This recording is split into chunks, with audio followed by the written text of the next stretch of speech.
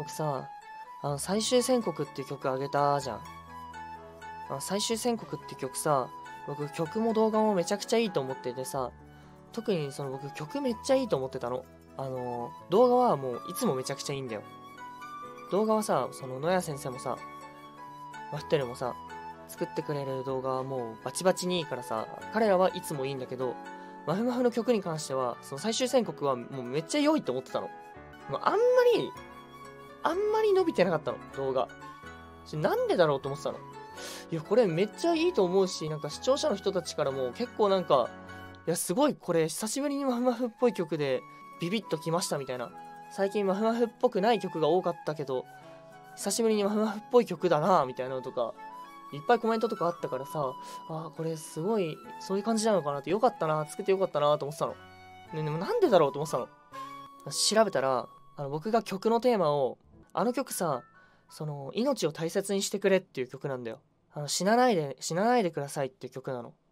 簡単に命を捨てないでくださいっていう曲なんだけどだからテーマ曲の中にさ自殺っていう歌詞が入ってると思うんだけどさあのあれが引っかかって規制食らってたっていうのやばいよね。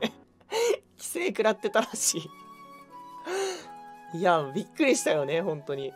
ちなみに僕の曲で規制を食らったのはこれ2作目なんですよ。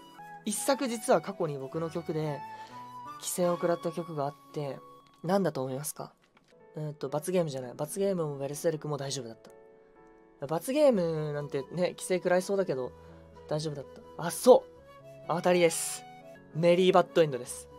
メリーバッドエンドのあのボカロを出した時だから本当に2年前とかかな。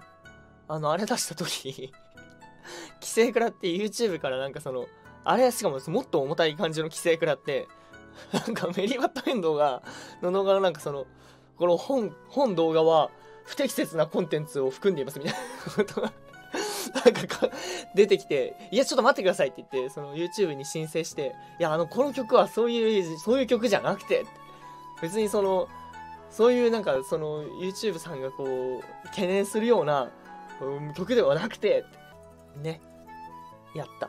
まあ、ちなみに、あの、生まれた意味などなかったとか、罰ゲームとかベルセルクとかは、あの規制は食らってないです。立ち入り禁止も大丈夫だったし、ハンディキャップも大丈夫だった。なんでだろうね。なんかね、あのね、わかんないんだよね、その LINE が。LINE が曖昧。よくわかんない、本当に。その時その時で違う。なんかそれは YouTube の、なんか、特徴だと思う。その時その時で、なんか変わる。うん。まあ多分ね、動画の本数がめちゃくちゃ多いから、だと思うんだよね。だからいろいろ審査の基準が厳しくなったり緩くなったりとかいうのも繰り返してるんだろうし。ね。難しいね。それはまあ、ね、天下の Google でしょ ?Google の心は Google のみぞ知る。